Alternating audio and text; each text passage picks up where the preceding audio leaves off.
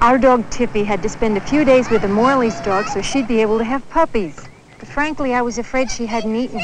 She'll stomp off and pout if it doesn't come out of a can.